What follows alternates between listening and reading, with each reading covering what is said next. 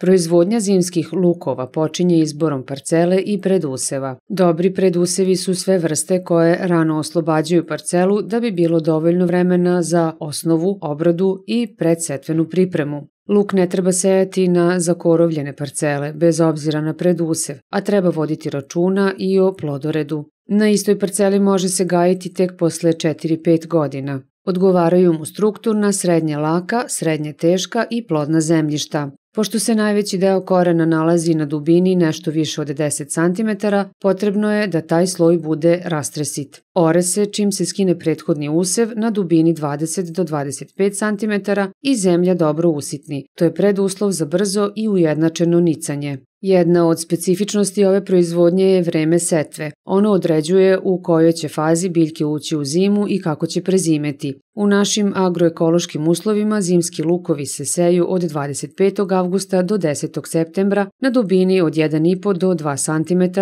u četvororedne trake s razmakom između traka 50 do 60, a između redova 20 do 25 cm ili na rastojanju 50 puta 3 cm.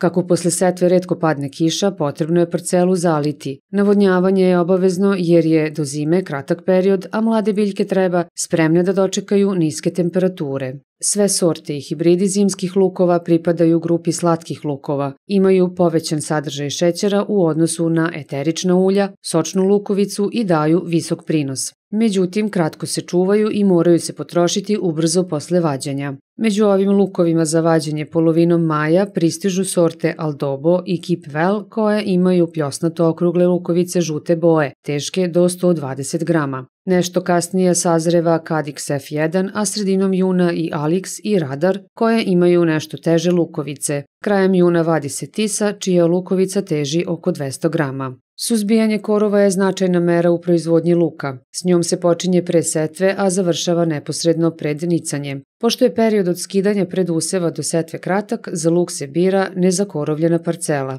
Posle setve, a pre nicanja povrća, efikasan je herbicid Stomp 330E u količini 4 do 6 litara po hektaru. Ukoliko se korov pojavi i u vegetaciji, može se primeniti herbicid Goal. Za hektar luka potroši se 0,7 do 0,8 litara. Plamenjača je najčešća bolest luka bez obzira na vreme setve. U našim klimatskim uslovima javlja se već početkom maja i zimske lukove zaražava pred kraj njihove vegetacije. Prepoznaje se po bledo žutim flekama i sivoj navlaci na listovima. Oni se suše, a lukovice trule i propadaju. Kada je zaraza slabija, proces truljenja se nastavlja tokom kratkog vremena čuvanja. Biljke na kojima se otkriju znaci zaraze prskaju se fungicidima kratke karence. To su Cinep C65 u koncentraciji 0,3%, Ditan M45 i Antrakol. Zbog glatkih listova rastvoru fungicida treba dodati okvašivač. Od štetočina, ako su dani suvi i topli, već u jesenjem periodu aktivne su lukova muva i lukova buva. Pri izboru insekticida treba biti obazriv, štititi samo usev iz kojeg će se povrće vaditi tek na proleće.